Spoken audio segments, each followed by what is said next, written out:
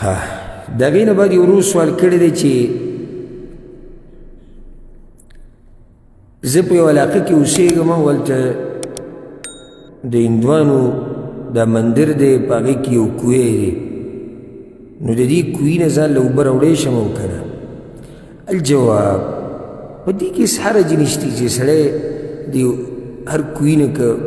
اوبه سکي سکی شي سوا یو څو کویان دي فقهاو ذکر کړي دي لکه هغه کوی چې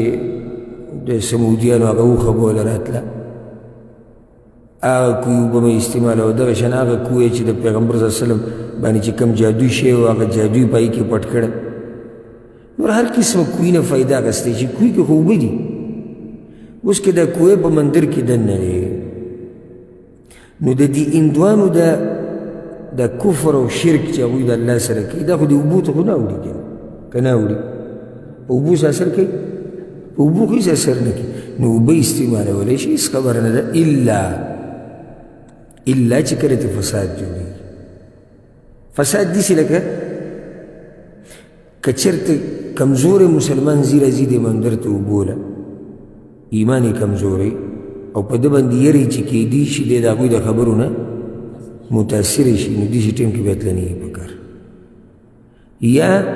فساد تی جوړیږي لکه جنگ جګړې ته خبره تاسو مسلمانان وری دلته راځي او دا زمون کوی دی نو بیا د دې فساد ختمولو لپاره دا سړی به درځي ته نشي او که چېرته پکې څه فساد نه وي او څه فتنه ترې نه جوړېږي نو بیا د دغه کوی نه اوبه استعمالولی شي که نه شي استعمالولی شي